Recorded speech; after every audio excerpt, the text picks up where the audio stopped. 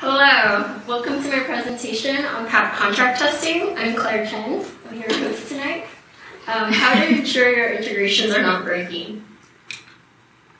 Um, so who am I?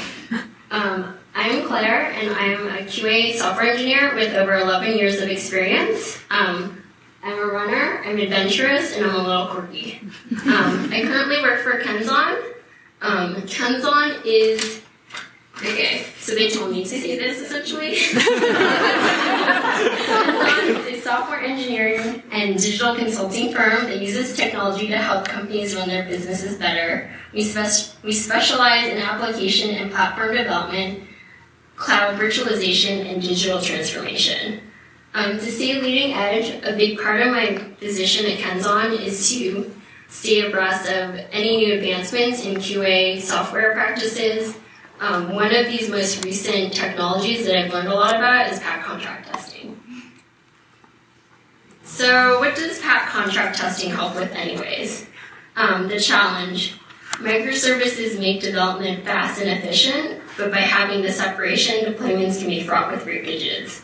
So I actually just took this microservice diagram from offline.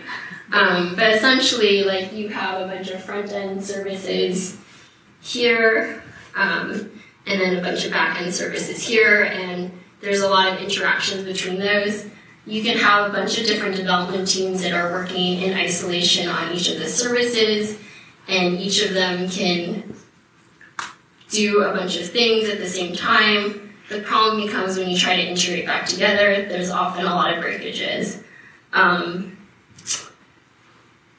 yeah, so having these breakages when you're deploying can cause a lot of problems, and oftentimes when you're trying to like resolve them, it just is super time consuming because you're like, I don't know which service at what point broke what.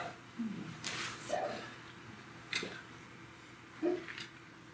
Okay, so how does PACT actually help with this, and what is PACT contracting, PACT contract testing, anyways?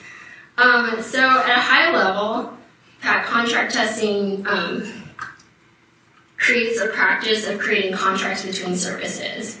So for a consumer, um, you can you can think of it as like a front end or another service, and you'd have like a provider service, and there's that link between it from the previous slide. So you would have like these links between these. Essentially what PACT does is it provides a service, this PACT broker that's in the middle here. The consumer service uh, like creates a contract against the provider service to understand all the expectations that is trying to lay out from the provider service. Once the provider service actually gets deployed, it, it'll actually replay the PACT against the provider service and then ensure that everything works out correctly. So if you pair this with CI/CD practices, you can actually figure out where things are breaking before deployments happen. If you do it without it, I mean, it gives you more insight into where the breakage happened. Um, so lastly, this is actually a screen of like what the PACT broker actually gives you.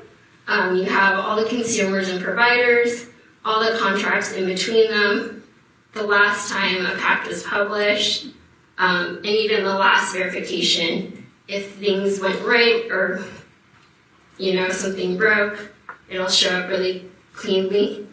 And a web webhook status if you want to implement that to kind of have things um, run as soon as something's deployed. So, another plug for my company, we're hiring. um, so follow us on any of these social media outlets. And thank you.